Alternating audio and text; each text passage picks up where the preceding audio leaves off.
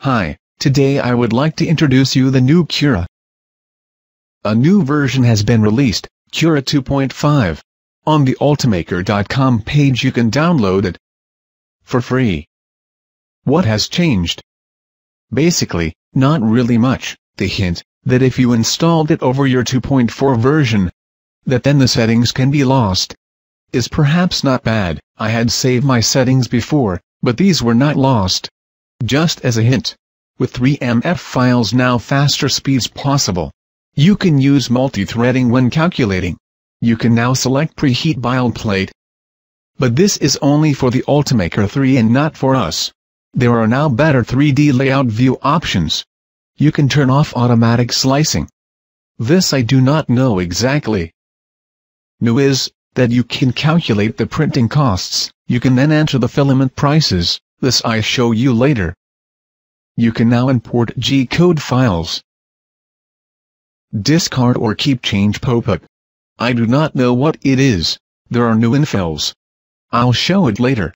And then still various bug fixes, not very much changes. Our printer is still not recognized over USB. I have just connected it to USB, but it does not work with me. Okay, all setting I had make in the 2.4 video are still there. You probably knew the video. Also my printer setting are still there.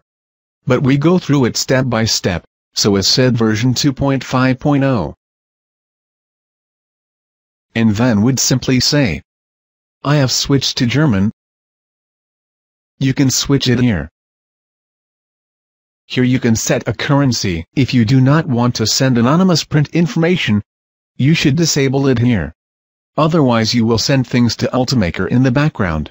And then let's just go through it step by step. Here we have the settings. Here are all things hooked. Which you find on the right side. If you are missing something on the right side, from the things I go through, you can find them here and you can hook them up. I have nothing else hooked as in version 2.4. And so we go to the next. Let's start with the printer settings. If you now restart the Cura completely, then you go here to add printers. If you select custom FDM printer below, you will see this window. I go to my printer to show you what you have to set. I delete the custom printer and go now to my ANET A8 settings. So what do you have to adjust? We have here the printer settings, which is the size of the printing area, how wide, how deep and how high it can print. There you write 220, 220, and 240 millimeters. In the print head settings, delete all. That always make problems, if there was something in it.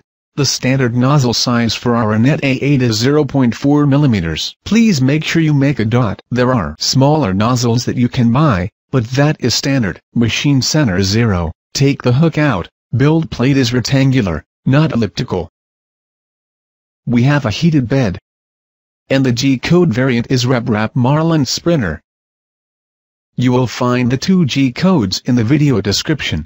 When you have finished the settings, you can click here below.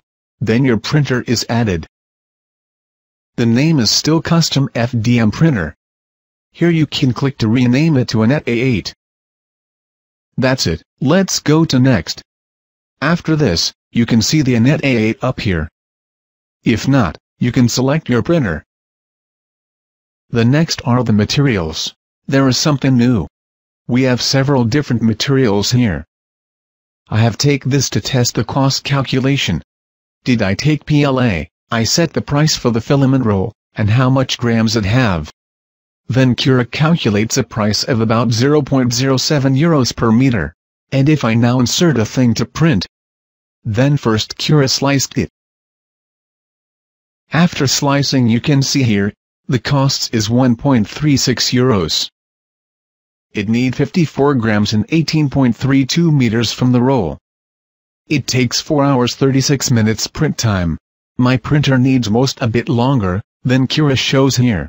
After slicing, then Cura show, ready for saving on removable media.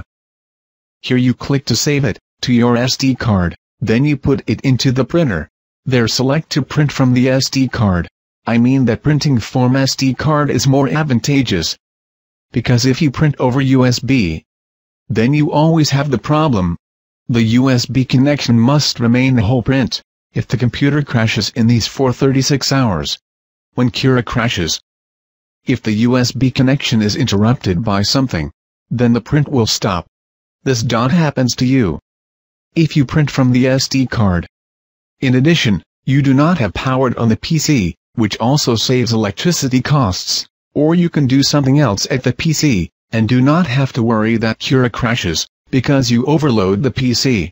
Okay, that once between, we open now again the settings, and look to the other things. Here are the materials, again. The profiles we check later, to see what you have to set up there. The plugins I have not changed. Now we have again a look at the print object. Use the right mouse button to rotate it. With the left you can move it. With this button you can scale it, make it bigger and smaller, here you can enter how much percent it should be larger, or smaller. Here it can be rotated. If you tackle the different circles you can rotate it. Here you can reflect the object. And here you can make settings direct at the object. For whatever reason, I have never used. If you here change to layers, and you check the support structure, then you see, Cura now shows the support structure. Perhaps it's new in this version. I think it's a good feature. You can go through the layers. So let's go through the profiles. I have created two profiles. First the medium quality with 0.2mm print quality, and the Anet A8 high quality with 0.1mm. I have make them for my 2.4 video, and I have nothing changed. I put the links in the video description, where you can download them, to import them into Cura. So let's go through the middle profile. As said, the layer thickness is 0.2 mm. Always with a dot, not with a comma. The first layer thickness is 0.3 mm. This is the lowest layer, the adhesion is better, if that is a bit thicker, the wall thickness I made to 0.8 mm, and the upper and lower thickness 0.8. The lower thickness is, of course, also the lowest layer. The wall thickness is this, what is between these things? I hope you can recognize this. When I go a little bit closer, a fill is printed here, it is basically hollow, and a supporting structure is printed inside. The wall thickness is printed around the structure, and it is 0.8 mm wide. The upper and lower pattern is, how to close the surface. You can take lines, concentric, or zigzag. You must know, what is best for you. Z-seam, I can't explain exactly, the values I've seen somewhere, and have simply taken it. Do not disturb, but I do not know, what they are doing right now. Infill density is the pattern, what print here inside. I choice grid, the filling density is 20%. This means, 20% between the walls are filled. When changed to lines, then it's sliced again. And this is now a bit tighter. Turn to triangles. Yes, these are triangles. So you can choose the support structure. I almost use grid. Zigzag would interest me, as the looks, compared to triangle or grid. Actually quite similar. Well, let's go on. The printing temperature I set to 200 degrees. Of course, this depends on the material with which you print. When you print PLA, it is usually between 190 and 210 degrees. You just have to test which printing temperature is the best for you. The manufacturer often supplies the optimum temperature. Initial printing temperature is when the print can at least begin. When the optimum is between 190 degrees and 210 degrees, then it can start printing at 190 degrees. I let it also begin to print with 200 degrees. The final temperature is when the cooling can begin, already just before the print is finished. whether it can go down with temperature. I have left it also at 200 degrees. Build plate temperature is 60 degrees for PLA. For the first layer you can specify a different temperature, but I have also 60 degrees. There you have to look, if the adhesion is not good, then go a little higher with the temperature at the first layer, then the adhesion is made better. Diameter is important. Our nozzle has 1.75 millimeters. Do not set anything else, otherwise you can really forget the print. The flow is the speed with which the filament is run out of the print head. So the small motor, which is at the print head, carries the filament. 100 is the normal value, then the motor pushes it out with 100 speed. A explanation of this. When you realize that the print is somehow sobering out at the layers, or odd on the outside wall, then it can be that the motor squeezes too much, then you should go down with the value a little. If you notice that, there are small gaps between the layers, then he might push out too little, and increase the value, so you know what effect it has. Enable retraction is, if not printed when the nozzle is moved, the filament is retracted a little, so nothing run out during these trips. I have specified the print speed at the medium profile to 75 mm per second. The infill speed also 75. The wall speed with 37.5, outer wall speed 37.5, inner wall speed 75, top button speed 37.5, travel speed 150, and initial layer print speed with 37.5. The values adjust automatically. If I increase the print speed to 80 mm, then you will see the other values automatically adjusted to the recommended values. Of course, you can still adapt yourself. So Z-hop when retracted, that is somehow the build plate Z, is lowered. I had switched it on, but then it always make problems. Enable print cooling. This is the fan's turn when you print. The initial fan speed is zero, because it is bad, when the first layer prints, and the fan cools too fast, then the adhesion is not so good, so it should be set to zero at the beginning, and after the first layers the fan starts turning. Then we have enable support here. If I turn it off, then the structure disappears here, as you see. You have to look, if your print object needs a supporting structure. You can recognize this quite well, if you switch here now on X-ray. I zoom a little bit out. Then nothing is dyed red. I'll take another print object. Then you see, here is a little red dyed, because it simply hangs in the air then you should activate the support structure. I do this, and then it's sliced again. Oh, and here we have to switch back to layers. And then you see here, now there is a support structure under print. This is where the support placed. Touching build plate, or everywhere. Everywhere red means, the support structure, would also print on the object itself. It may need for complicated printing pieces but also makes the surface of the printing piece a bit unsightly, because where it prints, you have, of course remnants, and then it has to work afterwards. At build plate adhesion type you have a skirt. Now you choice layers. I believe Cura has not shown this before. I'll take a moment to show it to you. The skirt basically is the line that is going around here. This is because the flow of the filament needs to be ensured, before it starts printing, because it takes a bit to get it out of the print head.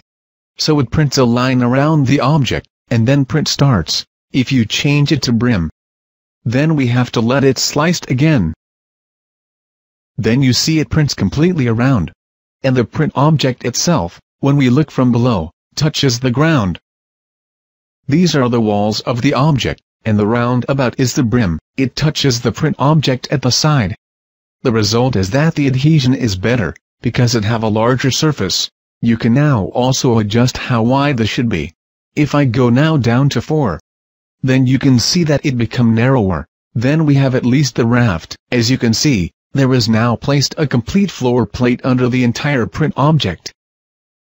You see a complete plate, that is very useful for small pieces, which have very little contact to the surface of the build plate. It makes sense to print on a plate, which prints before, because the adhesion is much better. Here you can adjust some things for the raft. Raft air gap. This means the size of the gap between the raft and the print object. So you get it off well. You should do this with a jerk. The other two, no idea. Then we have dual extrusion. There is nothing in it because we do not have a dual extruder. That would be if the print head has two nozzles so you can print two colors at the same time. The last is the special mode which is the print sequence. There you have all at once, or one at a time. If you put two things on your build plate, then it prints the two objects in one print. Then you can say all at once, so the print head jumps at each layer between the two objects. Jumping between the two objects at every layer often has the disadvantage, that there draws streaks between it, and it also takes longer. When it prints one after another, then it can happen, that if the print head makes movements, then it collides with the finished one. I always use all at once to prevent collisions, but, of course, everyone can see for themselves what is best for him, so that's are the settings. Now we go to the high quality profile. At the high quality I have actually only very little changed. The layer high is now 0.1. The wall thickness is 1.2, and the speed is lowered to 50 up here, and the other values are adjusted automatically. More has not changed in the profile high quality, yes, basically this was all. I hope I had now told everything. I look through again. Just one thing I can say. If you have set everything, you can save the project here. Then all will be saved, the print object on the build plate, how you have scaled it, and all your settings, so you can later load it again.